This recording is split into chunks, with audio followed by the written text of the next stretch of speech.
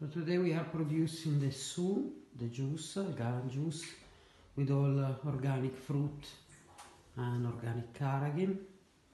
And this is the boiler. Here is where we boil the fruit all together. And then we'll mix it.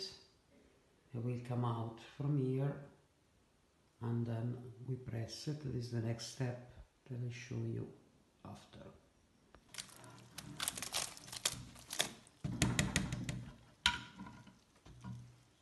This is the press.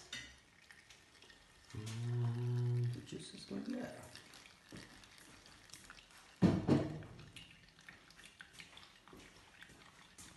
So ingredients are apples, blueberry, raspberry and carrageen seaweed. So now we are setting up the press.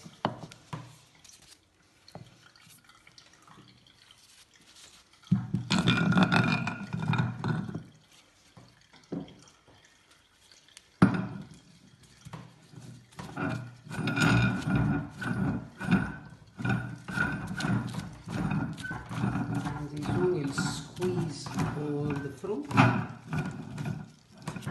And that's the lovely juice, delicious and healthy.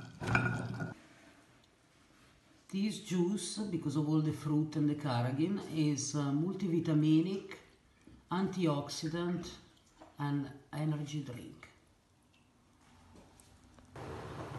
Now, and this is the last step after we bottle them. Um, we need to pasteurize it, so that we do it by boiling it in hot water. And that's it. The su will be ready then.